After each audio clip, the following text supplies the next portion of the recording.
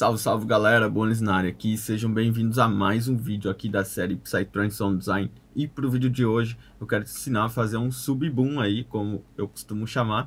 É um efeito também seguindo a linha aí de transições, um efeito muito utilizado principalmente nas entradas de break, entradas de build-up, aquelas enganadas né, que a gente sempre faz no final do drop. Então se você tiver interesse em aprender, fique comigo aí nesse vídeo.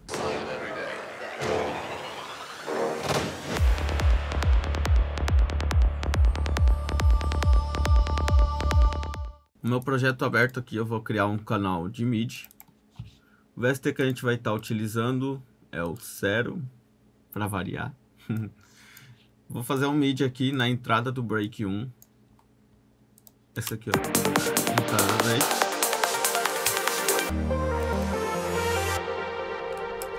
E o sub vai ir na oitava zero aqui. Na oitava zero eu vou colocar ele em sol, porque a minha música está em sol. Até que beleza. Criei um mid bem grande aqui. Tamanho acho que de 32. 32 kicks. Vou vir aqui no meu Serum preset inicial aqui. E vou escolher nesse oscilador A. Vou escolher uma onda Analog Basic Shapes.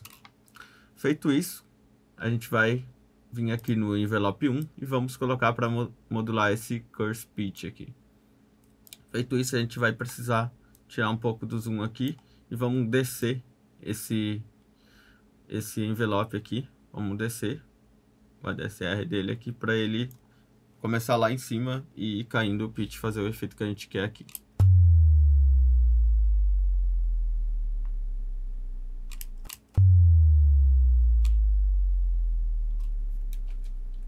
Beleza. Feito isso, a gente pode estar tá utilizando também algumas distorções aqui. Vamos testar alguma. As outras eu acho meio agressiva. Talvez seria essa soft ou essa tub ali. Mas acho que essa tub aqui. Tá massa. Deu uma cor a mais. Trouxe um pouco mais de presença. E já vai fazer o que a gente quer aqui. Vamos ver como é que tá isso aqui com a track. Esse sub ele vai trabalhar bem no fundo do som, é, nas partes que não tem kick, óbvio, mas de qualquer forma ele vai tocar mais baixo do que o kick, mais baixo do que o bass.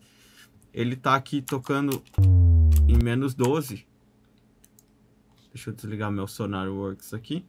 Ele tá tocando em menos 12. Menos 12.7. Então vou baixar mais 8 decibel, mais 6 decibel.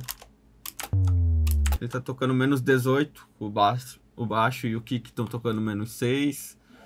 Solados, mais ou menos, cada um tá tocando menos 10, menos 12. Então eu deixei menos 18, que é para ter um, um headroom ali legal. Vou chamar esse aqui de subboom.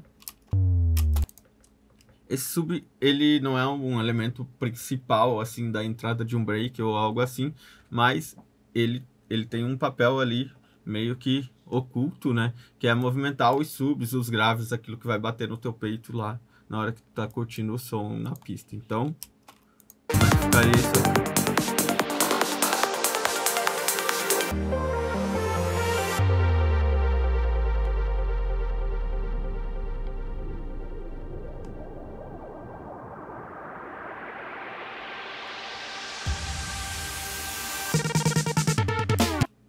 Beleza.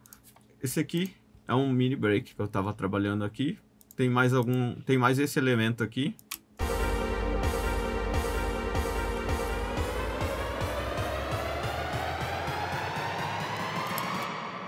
que tem grave, como vocês perceberam.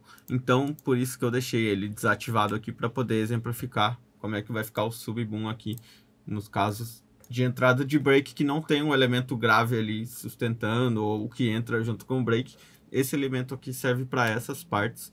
Eu vou converter já ele para áudio aqui. Converter ele para áudio aqui.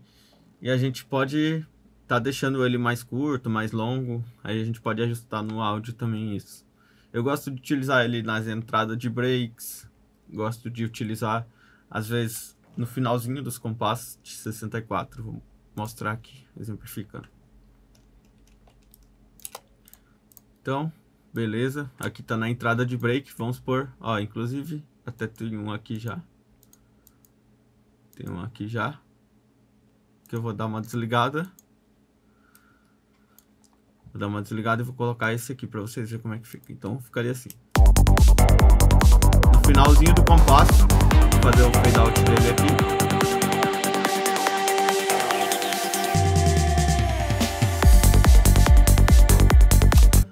Faz uma puta diferença sem, olha só como ficaria a transição mais amadora, né, sem ele.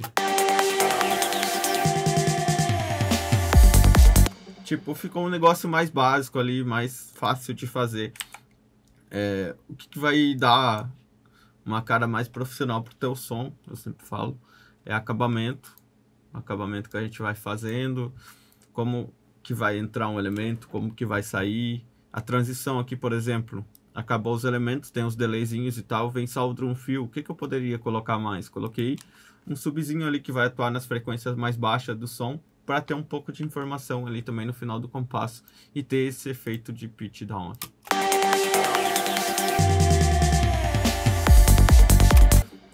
Eu poderia também estar... Tá, é, ah, no final do compasso aqui eu tenho... Desliga minha automação aqui. No final do compasso eu tenho um kick, que a gente costuma colocar às vezes. Eu vou precisar ajustar um fade aqui de acordo com o kick. Vou até arrastar ali para cima lá. de acordo com o kick. Eu vou precisar fazer um fadinho aqui dentro. Porque eh, onde que tem o kick não precisa ter mais um sub, então ele ficaria assim, ó. A gente vai solar os dois aqui. E vamos fazer o ajuste dele. É um pequeno detalhe, mas que vai te já te poupar um bom tempo na mix.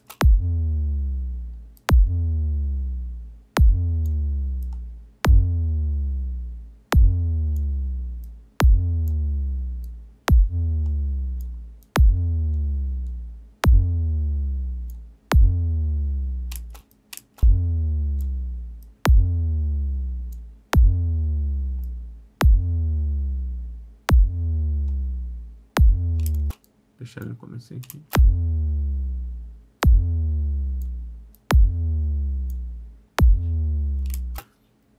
Que também vai fazer o efeito que, que a gente quer ali, só que mais encaixadinho com o kick, então.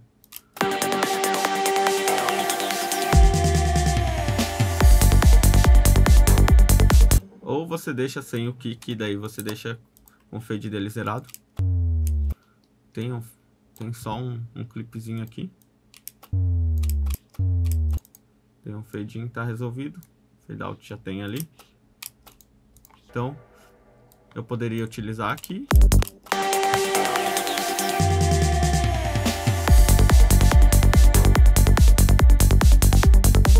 E daí nas entradas de breaks também ficaria interessante.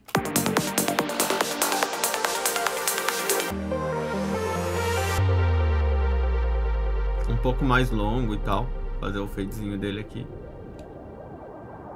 E daí já vem entrando os elementos de build-up e ele faz essa, essa cama com graves. Onde mais a gente poderia estar tá utilizando ele é, nas build-ups, por exemplo. Só que aqui eu comecei, acho, com kickbase filtrado. Sim, aqui eu comecei com kickbase filtrado, mas sei lá, poderia estar tá utilizando ele também.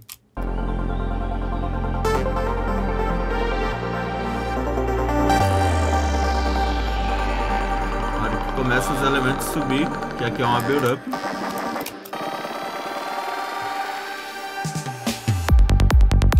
Só que aqui eu utilizei o Kickbase filtrado de graves, então não está precisando.